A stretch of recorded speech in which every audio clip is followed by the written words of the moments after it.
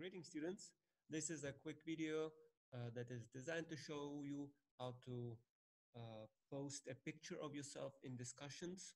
Uh, you can use it for this first discussion that you're going to be doing and maybe for the future discussions you can use it as well. So let me share my screen.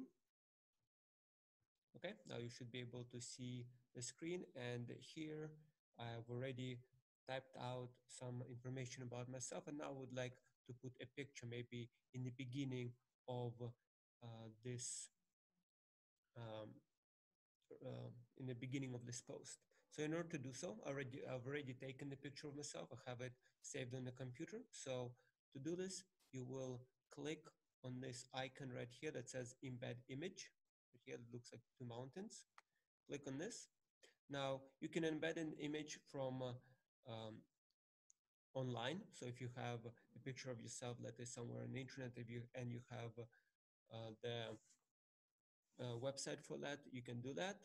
Uh, also from Flickr for some reason, but let's say we you have a picture saved on your laptop or on your computer and you would like to uh, include that. So you will press on Canvas and then you will press on My Files and you have some kind of uh, maybe some files here, maybe you don't, doesn't really matter. And then you will click on upload files.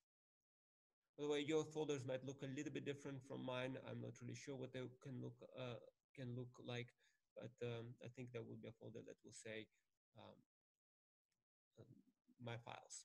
Uh, then uh, my picture is uh, um, in pictures, and I took several ones, but I like this one open.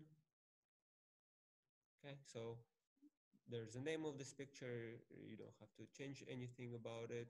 The dimensions of it, I don't think we'll need to change that. We'll see. And then you click update. And now there's a picture uh, that's included in uh, this post. And then if you press post reply, then there's a picture of me and uh, some information about myself. So this is how you will uh, include a picture in your posts.